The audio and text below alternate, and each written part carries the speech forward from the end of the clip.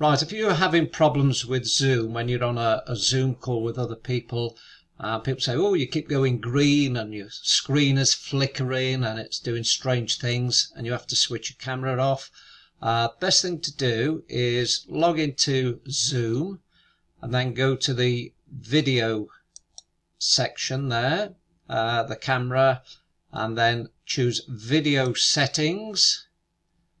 And then you need to go to advanced and then you'll see optimize video quality with denoise. If that's ticked, try unticking that.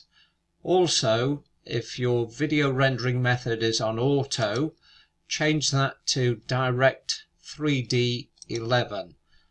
And when you've done that, that's it. And then try to get on a, a Zoom call and see if it works. Normally that works instantly. So I hope that helps and pass it on to others who are having flickering problems. Okay, bye now.